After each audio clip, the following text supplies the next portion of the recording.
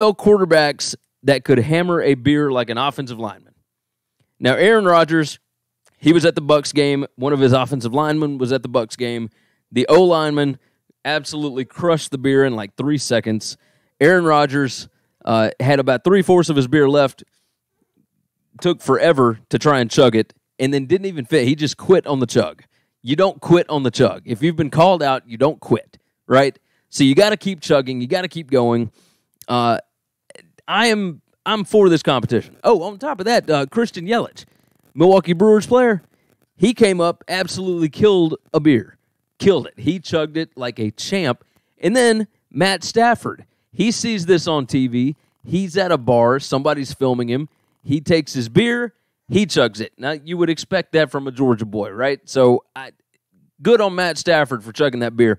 But I am game for a competition like this. I like beer chugging. I like to see NFL quarterbacks do this. I would love to see any famous people chugging beer, right?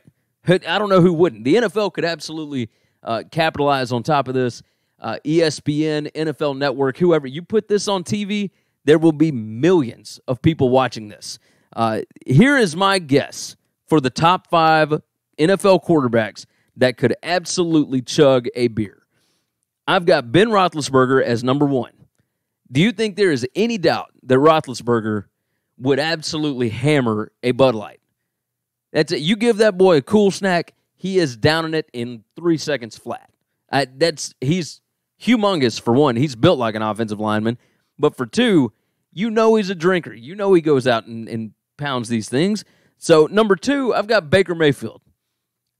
Guy's a leader. Yeah, he's a bit smaller, but it, you're telling me that dude doesn't party? I, I don't think so. This guy would down a beer in no time. Number three, Josh Allen. There is nothing else to do in Wyoming except for ranch and drink beer. And that is exactly what he would. I'm telling you, Josh Allen is the same as Ben Roethlisberger.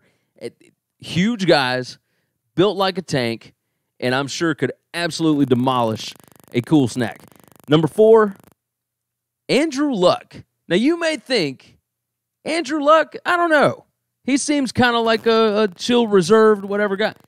I'm telling you, this guy, it, he again, another guy built like a tank.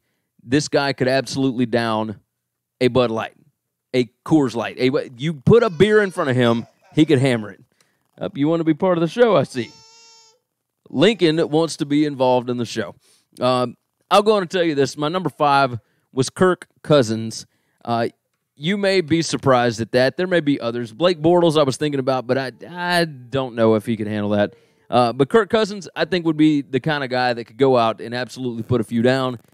I'm going with Kirk Cousins on this one. Uh, let's jump into daily gambling.